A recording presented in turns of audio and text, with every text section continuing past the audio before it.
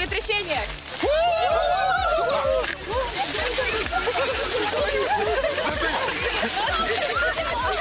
Белочка, белочка. Пожар.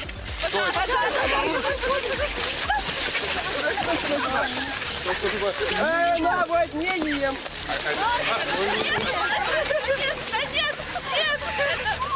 Я и проиграл. Сейчас продолжают э, строить отрядовцы играть, а я приглашаю э, Екатерину Касьянову, исполнительного э, обязанностей комиссара регионального отдела, отделения или отдела? Отделение. Отделение стройотрядов.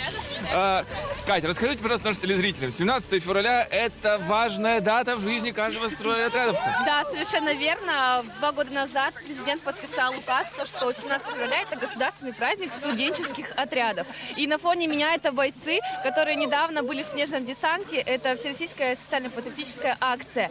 А Мы помогаем не только людям, да, в- летом и зимой, также работаем. И поэтому со 17 февраля это не только наш праздник, но и старт агитационной кампании. Мы всех приглашаем в студенческие отряды. Заполняйте анкету на сайте kkso24.rf. Мы будем рады вас видеть в такой дружной компании, какая у нас.